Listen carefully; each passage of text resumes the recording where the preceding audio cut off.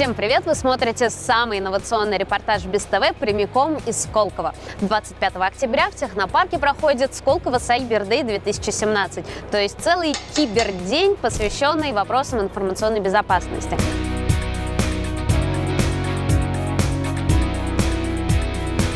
Общее впечатление следующее. Атмосфера деловая, очень много знакомых лиц и логотипов. В общем-то, это неудивительно. Тема информационной безопасности сейчас на подъеме. А потому и зеленые стартапы, и матерые разработчики, все желанные гости в Сколково, в колыбели российских высоких технологий. И хотя количество стартапов в ИТ-кластере по теме информационной безопасности ежегодно увеличивается, в этом году их, кстати, насчитывается уже 65, и практически каждая четвертая компания – это спин известного разработчика по информационной безопасности. Тем не менее, на рынке остаются компании, которые на отрез отказываются иметь дело со Сколково, а некоторые прям-таки открещиваются. Чур меня? Чур. Аргументов хватает у обеих сторон. Безоговорочный аргумент – это, конечно, налоговые льготы для резидентов Сколково. Но, с другой стороны, на другой чаше весов – это статус и имидж стартапа из Сколково, который, возможно, отпугивает некоторых заказчиков. Ну, как можно говорить о доверии и долгосрочном сотрудничестве с компанией, которая не может или не хочет, жадины говядины, обеспечивать себя сама, а живет на гранты и льготы. Ну, конечно, в бизнесе все средства хороши, но, по-моему, осадочек-то остается. Или все-таки нет? Насколько значок Сколково для вас является гарантом качества или, наоборот, клеймом? Я не сказал, что значок Сколково является принципиальным для меня. Скорее, это принципиальное значение имеет э, репутация на рынке. Наша компания доверяет э, на практике уже, потому что вот мы как раз сейчас вот с нашим партнером SiteSecure, они как, как стартаперы Сколково добились чего-то уже на рынке и в том числе добились того, что мы являемся их клиентами. Для меня не будет влиять э, как-то на выбор, э, есть ли лейбл Сколково или нет. Знак Сколково. Для, лично для вас э, что это такое? Насколько мы работали с резидентами Сколково, о, они э, не платят без НДС. Для нас это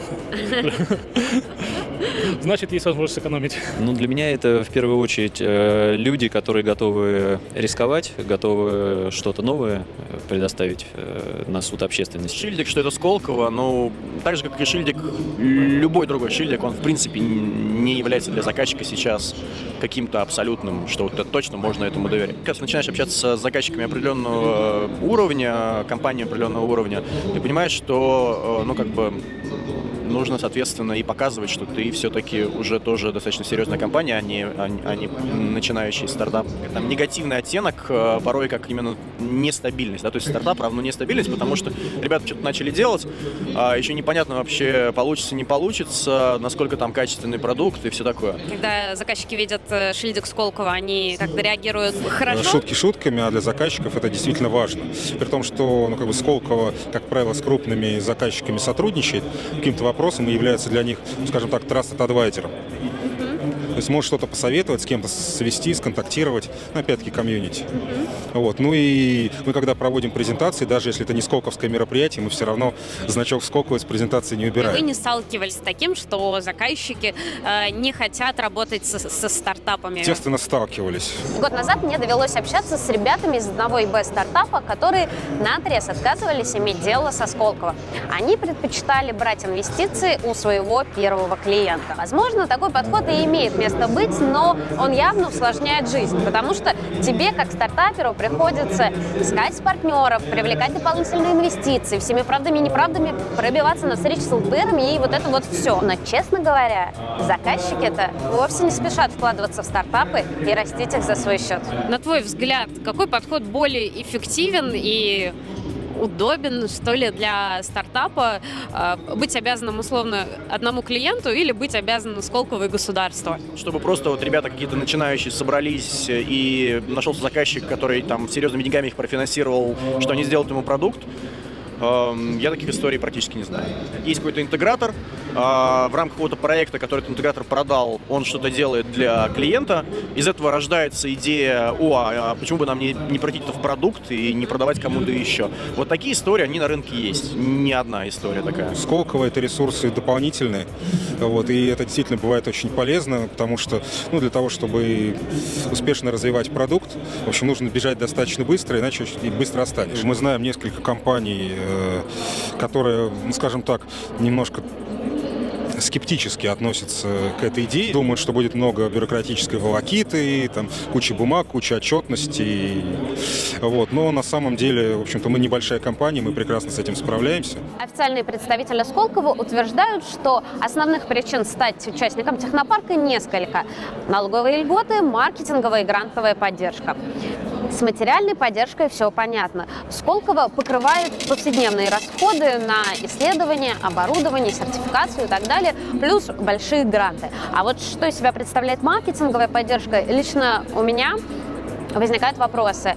А, на минуточку у некоторых стартапов даже нет нормального сайта визитки. Действительно познакомились с несколькими нашими партнерами и в общем, продолжаем, собственно, через определенные каналы искать клиентов, участвовать в мероприятиях. Мы получали грант в Сколково на разработку нашего машинного обучения. Ну, собственно, мы его успешно закрыли, все, что запланировали, сделали, но это очень важная большая часть нашего продукта. Сколько вы рассказываете о том, что они э, организовывают встречи с клиентами? Несколько раз мы в таких встречах участвовали. Вот здесь э, в Сколково менеджеры руководят соответствующими направлениями по отраслям. Соответственно, каждый из них, в общем, организовывает встречи с клиентами, либо руководители IT, либо руководители службы информационной безопасности, либо руководители бизнес-подразделений заинтересованных. Ну и само по себе имя Сколково, оно имеет определенный определенный вес. Вот, поэтому, в общем, люди статусные тоже приходят. Сколково есть э, поддержка маркетинговая, то есть это возможность бесплатно участвовать в мероприятиях, в которых принимает участие Сколково. Для начинающего бизнеса это очень э, важно, потому что есть возможность э, пообщаться с потенциальными заказчиками в рамках конференции. Не финансовые инструменты, еще это менторская программа, то есть возможность у начинающей компании пообщаться с людьми, которые уже чего-то добились. Это либо владельцы компании, либо топ-менеджеры крупных организаций здесь, в России. И, к сожалению, программа, как мне кажется, не развивается активно. Не так много людей, то есть именно менторов нет, не знаю, там Сергея Белоусова из Акрониса, там нет э, там, Давида Яна или кого-то еще из Аби, там нет никого из лаборатории Касперского. Ну, то есть вот такие компании, которые, на мой взгляд, все-таки должны, не то что должны, но было бы здорово, если бы они участвовали. Одно из наиболее интересных обещаний Сколково – это помощь в выходе на международный рынок. Попасть туда хотят все, это не секрет. И некоторые компании даже готовы вливать туда деньги. По словам Сергея Ходакова, стоимость выхода на международный рынок для компании составляет около 200 тысяч долларов за первый год. Но деньги – это не единственная преграда. Э, у компании просто-напросто отсутствуют знания о рынке, партнеры, контакты, да и заказчики слышат о вас впервые. Вы кто такие? Я вас не звал. Осколково берет часть рисков на себя и помогает организовать нетворкинг и договориться с акселераторами о потенциальном сотрудничестве. Партнерство с Осколково позволяет компании сохранить владение компании за собой. Потому что, как правило, акселераторы просят небольшую, но долю за участие в программе. Партнерская программа позволяет компаниям избежать э, потери доли владения. Многие наши участники выходят на международный рынок. Так, например, э, R&D-центр э, компании InfoWatch разработал новый продукт и в настоящее время открыл э, офис э, в Арабских Эмиратах. Аналогичный выход сделала компания Session Forum. Центр речевых технологий сделать э, решение на базе Э, на базе ранее разработок с использованием финансирования Сколково. И в прошлом году прошла успешное пилотное внедрение в крупнейшем банке США Wells Fargo. Мое глубокое убеждение, что это рынок, где э, у России есть большие компетенции с точки зрения там, применения технологий машинного обучения, искусственного интеллекта, большой потенциал создания новых решений. Стартапу можно можно как раз искать новые решения, предлагать новые решения, появляться, и по большому счету зачастую там может не оказаться такой мощной, серьезной конкуренции. Если коротко подводить итоги, то Сколково для российских ИБ-стартапов это как минимум неплохо, но до определенного момента. Когда компания захочет работать с крупными, серьезными заказчиками, то имидж молодого стартапа может стать помехой при реализации крупной сделки. А, значит, пришло время абстрагироваться от бренда Сколково. Но, тем не менее, если компания, уверенно встав на ноги на российском рынке, захочет совершить новый эволюционный скачок и попробовать свои силы на рынке международном, то Сколково, как заботливый альма-матер, поддержит начинание и смягчит возможные удары. Тем не менее, приходя в Сколково, нужно отчетливо понимать, что это не ясли и не детский сад. При всех своих ресурсах Сколково не построит за вас ваш бизнес. Сколково дает возможности и инструменты, а какими пользоваться или нет, это решать вам. В конце концов, развитие бизнеса – это совокупность множества действий, где важна не каждая отдельная активность, а именно их сумма. И Сколково повышает возможность достижения успеха, потому что увеличивает количество ваших активностей. И после бесед с коллегами кажется, что для того, чтобы не идти в Сколково, нужны ну, очень веские причины или отсутствие инноваций в вашей разработке. Согласны вы или нет, пишите в комментариях, делитесь вашими историями, а мы завершаем наш репортаж. Ставьте лайки, подписывайтесь на наш канал и до новых встреч. Всем пока!